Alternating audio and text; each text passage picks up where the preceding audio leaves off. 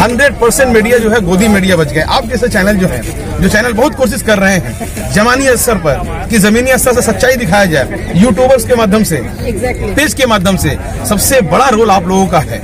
हम लोगों ने देखा है बंगाल के इलेक्शन में। हम लोगों ने देखा है कि बड़े बड़े मीडिया कह रहे हैं कि बंगाल जल रहा है सुलग रहा है। ऐसा तो कुछ नहीं है। मगर उसी तरह से आप जैसे जो मीडिया है फ़ोटो फैक्ट जैसे मीडिया है वो दिखला रहे हैं कि बंगाल में अमन शांति है। बंगाल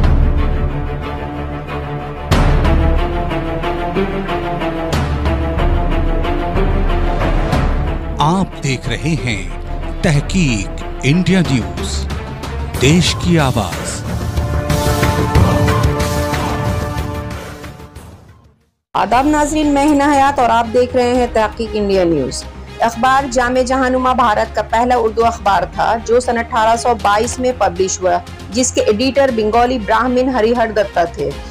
26 मई 2022 को जामे जहानुमा न्यूज़पेपर के 200 साल मुकम्मल होने पर कलकत्ता के नेशनल लाइब्रेरी में वेस्ट बंगाल उर्दू एकेडमी की जानिब से अवार्ड फ़ंक्शन का इनका किया गया, जिसमें वनक्यूलर न्यूज़पेपर के जर्नलिस्ट को सम्मानित किया गया। इस फैसिलिटेशन प्रोग्राम में एमपी जनाब नदीमुल हक मेयर ऑफ़ कोलकाता जनाब Firhad Hakim MIC of West Bengal government जनाब Ghulam Rabbani disaster minister of West Bengal government जनाब जावेद अहमद खान के साथ साथ तमाम लैंग्वेजेस के सीनियर जर्नलिस्ट ने शिरकत की।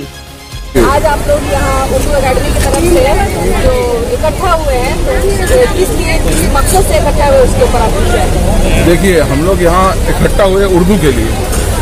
उर्दू एक ऐसा लैंग्वेज है एक ऐसा मीठा लैंग्वेज है एक ऐसा अच्छा लैंग्वेज है जिसका जन्म जिसका पैदाइशी ये पैदाइश हिंदू में हिंदुस्तान में हुआ और पूरा दुनिया में जैसा जावेद साहब बोले थर्ड या फोर्थ लैंग्वेज है जहाँ पूरा दुनिया में जो बोला जाता है। इसीलिए हम लोग सबको यहाँ पर पूरा मेरे ख्याल से इंडिया का हर कोना से आदमी यहाँ आया है और रिप्रेजेंट किया है और बोला है। तमाम सहाफ यहाँ तमाम सहाफी मौजूद थे तमाम सीनियर सहाफी। जी तो बल्कि हिंदुस्तान का तमाम कोना से मौजूद थे। तो आप लोगों की क्या एक्टिविटीज़ हुई यहाँ? हमारे यहाँ फेलिसिटेशन प्रोग्राम था। सबको फेलिसिटेट किया गया। सबको बुलाया गया, उनका हिम्मत और बढ़ाया गया। और हम लोग का नौजवान तमाम स्कूल, कॉलेज का स्टूडेंट्स भी था। ये नौजवान लीडर तमाम सब थे यहाँ पर। ये लोग देखे, जाने, ताकि नेक्स्ट हम लोग को उर्दू के मुतालिक क्या काम करना चाहिए। उर्दू मुसलमान का लैंग्वेज नहीं है। उर्दू हिंदुस्तानी लैंग्वेज है। आप जैसा भी सुने कि इसका एडिटर हिंदू था पब्लिशर पंजाबी था, मालिक बंगाली था।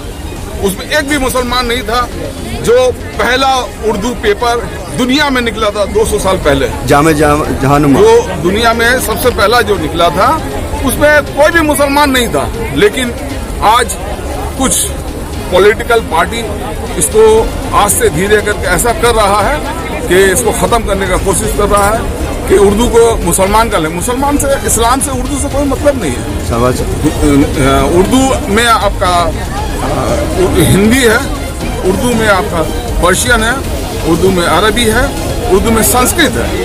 और इसमें ज़्यादातर हिंदी लैंग्वेज है। जबकि उर्दू हम लोग बोलते हैं हम लोग सब समझते हैं जानते हैं। तमाम जबानों का ये मिश्रण है। जी बिल- बिल्कुल। शबाज भाई आप थोड़ा बताएँ इस अवार्ड फ़ंक्शन के बारे में। देखिए मैं शुक्रगुजार हूँ हम सब के सीनियर और खिदिरपुर के एक बहुत ही बड़े सोशल वर्कर जनाब शेख सफरुद्दीन साहब का जो इस प्रोग्राम में वो पिछले चार पाँच दिनों से कंटिन्यू हमारे पूरे कोर्ट एरिया में खिदिरपुर में इकबालपुर में वो कोशिश कर रहे थे कि ज़्यादा से ज़्यादा लोग इस प्रोग्राम में आए शिरकत करें और उर्दू जबान के बारे में जानें। एक ऐसी जवान के बारे में जानें जो जवान का नाम ही होता है मोहब्बत प्यार अमन और शांति। उर्दू जबान ये है। आज आज का दिन में जर्नलिज्म तकरीबन है नहीं। है आज का दिन गोदी मीडिया गोदी मीडिया गोदी मीडिया है। जर्नलिज्म नहीं है।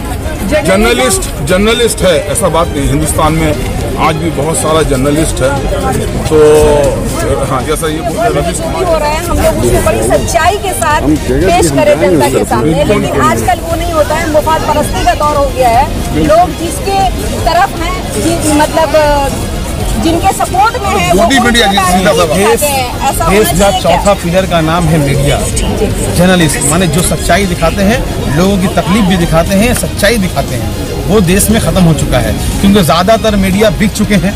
चुना गिना एक दो बचे हुए भी हैं उनका भी कगार यही है कि वो बेचारा जब भी कोई बोलते हैं तो उनको देशद्रोही बोल दिया जाता है। ऐसे वक्त में ऐसे दौर में सहाफत सबसे ज़्यादा खतरे में है।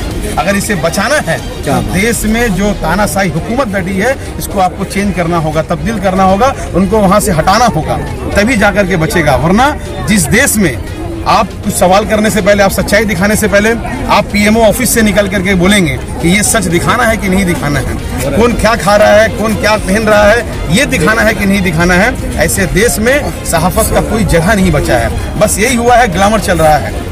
कि आज पंद्रह लाख का कोई सूट पहन रहा है उसको दिखाना है। देश में कौन भूखा मर रहा है इसे नहीं दिखाया जाता है। दिखाया ये जाता है कि डिजिटल भारत बन रहा है। ऐसे दौर में रवीश कुमार जैसे लोग की बहुत ज़रूरत है। ऐसे पिलर की ज़रूरत है जो सच दिखाए। अभी अभी हमारे पोचुदा ने कहा ना कि गोदी मीडिया।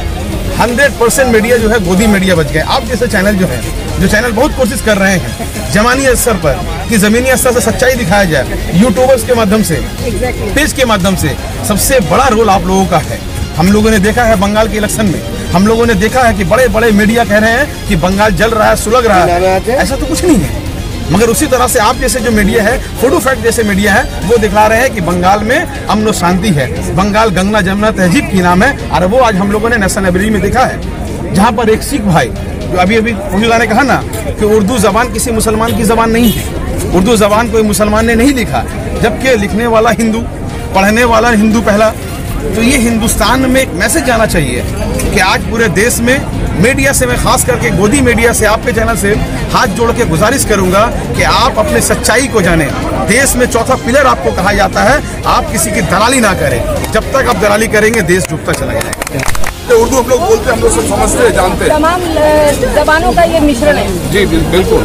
शबाज भाई आप थोड़ा बताएँ इस अवार्ड फ़ंक्शन के बारे में। देखिए मैं शुक्रगुजार हूँ हम सब के सीनियर और खिदिरपुर के एक बहुत ही बड़े सोशल वर्कर जनाब शेख सरफुद्दीन साहब का, जो इस प्रोग्राम में वो पिछले चार पाँच दिनों से कंटिन्यू हमारे पूरे कोर्ट एरिया में, खिदिरपुर में, इकबालपुर में वो कोशिश कर रहे थे कि ज़्यादा से ज़्यादा लोग इस प्रोग्राम में आए, शिरकत करें और उर्दू जबान के बारे में जानें। एक ऐसी जवान के बारे में जानें जो जवान का नाम ही होता है मोहब्बत, प्यार, अमन और शांति।